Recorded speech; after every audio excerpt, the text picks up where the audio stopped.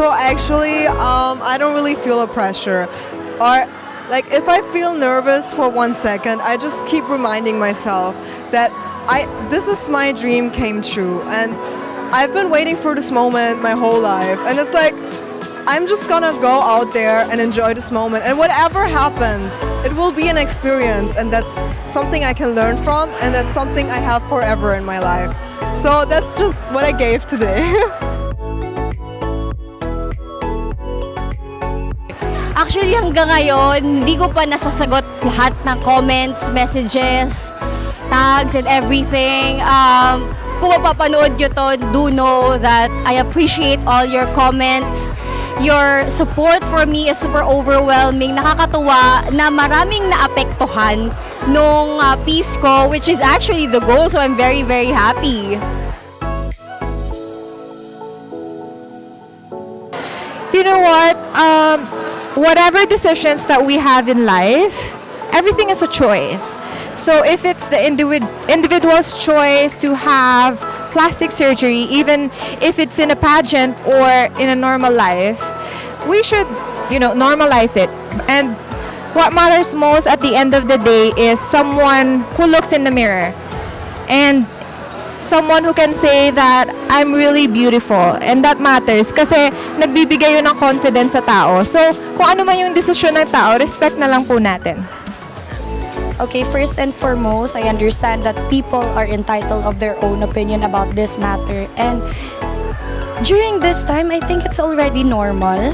And as long as you feel comfortable about it, then go ahead, do it. I don't, I don't see any problem with that.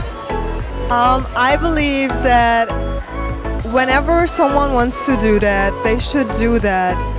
Um, if it makes them uh, confident and strong, but they should consider doing that with someone who's trustworthy, a doctor that is trustworthy, a doctor that is safe, and as long as in the end they feel beautiful, more beautiful, and more.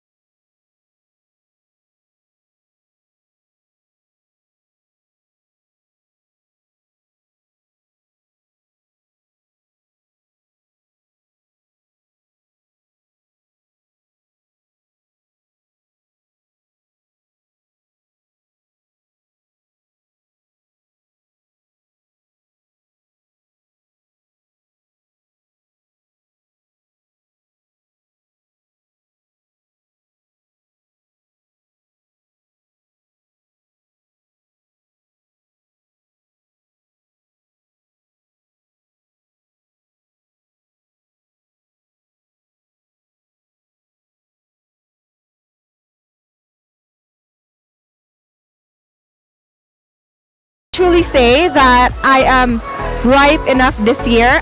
I've been training since uh, I don't know after months after last year's Binibining edition. So I know that I'm working hard as much as the other girls, but I know that this has been a dream of mine. Others wants to be a lawyer, other wants to be a doctor or even a nurse. But ako, dream ko talaga maging queen and this is what I've been working on, especially with my mental health advocacy. So I can truly say that I am definitely ready.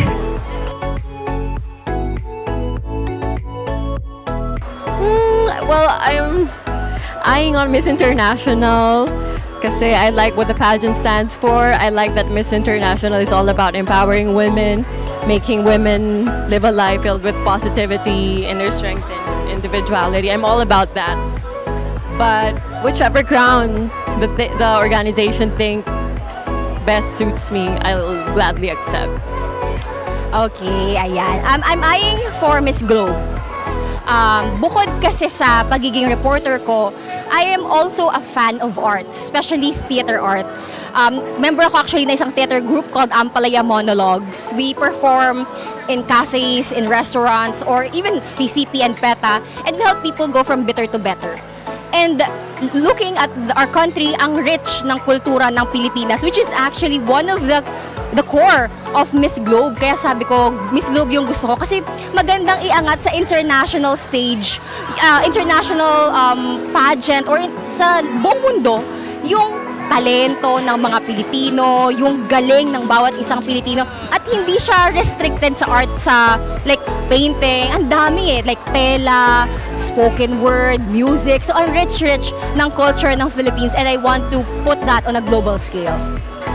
I'm eyeing for Miss International crown. I've been dreaming of it since I was a little kid and I love Miss International organization especially now that they are partnering with United United Nations sustainable goal and it really connects with my mental health advocacy so I'm really working on that and I hope I get to work with the organization soon.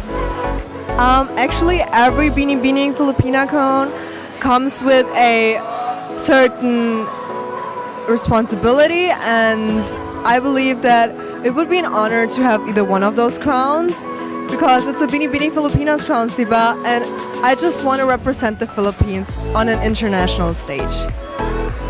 this year, um, I just decided to be versatile. I just wanted to fit into any crown as long as it's from Binibining Filipinas. But if I'll be given the chance, I see myself as potentially Miss Grand International. So, I've been keeping my mouth shut about this kasi a lot of people were asking me kung ano daw yung crown. And I just said, antayin ko na lang muna, antayin ko na lang muna.